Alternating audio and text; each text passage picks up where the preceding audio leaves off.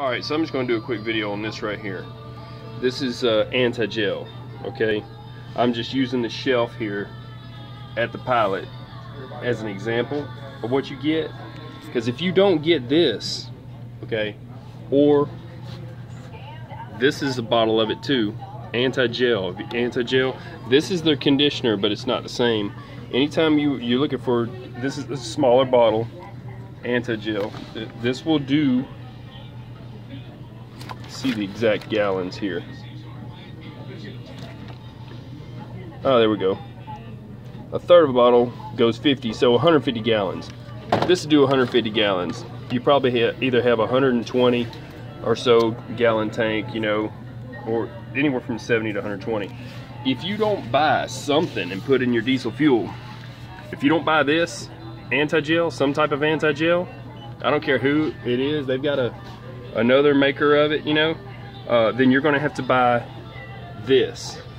This is Diesel 911, and what you're gonna need is, you're gonna have to have one bottle of this and take your fuel filter off and put this inside the fuel filter, and it melts, it ups the cetane, it melts the, uh, the ice that's in there, the gel.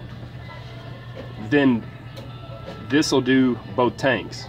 So you got to buy both of these, and you're talking price-wise, 1998 plus 12.99. You know, or you can buy two of these and split it, but then you got extra. So better than going with this. You need to keep keep this in your fuel tank. Okay, so and split it up, and this will do. What's this one calling?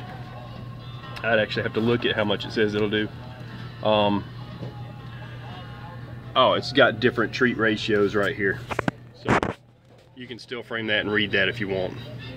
Okay, one bottle to 160 gallons, below zero, above zero, one bottle.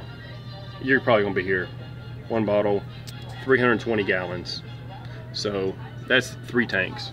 Make lines with a marker like I do, just mark, mark, and mark. And you know, these are above dotted line equals half a bottle you know. So if you don't buy this, you will be calling roadside and all they're gonna do is bring you this and they're gonna charge you about five or six hundred bucks to do it. Because they gotta take every take your fuel filters off, put it in there and all that, and you're on the side of the road, so it's a road call. So don't go this route. Go this route. Do it with every tank, all through the winter, anything below 32.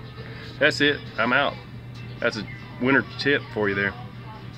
I'm out. Peace.